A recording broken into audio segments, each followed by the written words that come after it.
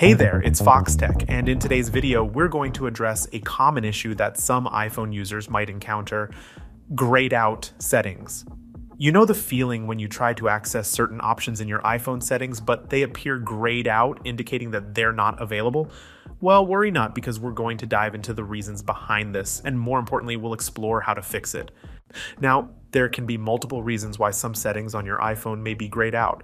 One possible cause could be discrepancies between your device's hardware and software. Another reason could be that certain features are missing on your specific iPhone model.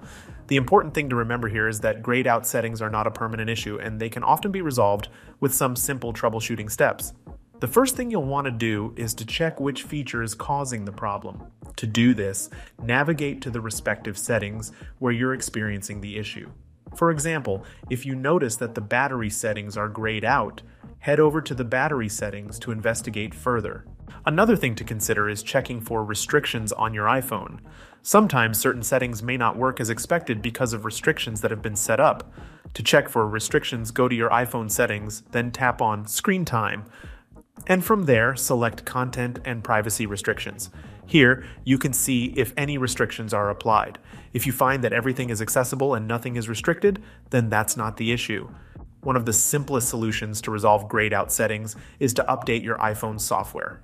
Often, updating to the latest iOS version can fix bugs and issues that might be causing certain settings to appear grayed out. To update your iPhone, go to Settings, then tap on General, and from there select Software Update.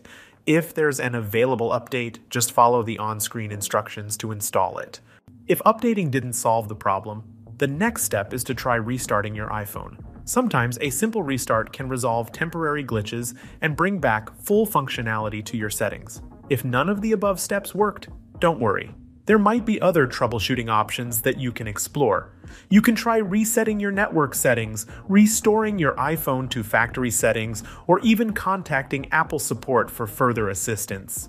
In conclusion, grayed out settings on your iPhone can be a frustrating experience, but they are usually solvable with the right steps.